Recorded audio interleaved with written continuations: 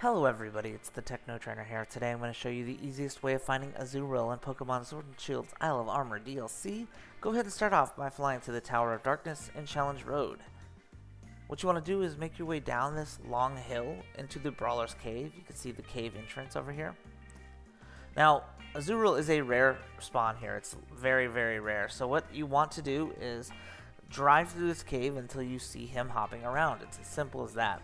You might not see him very easily, so if you run through the whole cave and you haven't seen it, leave the cave, come back to reset the spawns. Eventually you'll see Azurill hopping around like this. Like I said, it is a rare percentage, so don't get demotivated.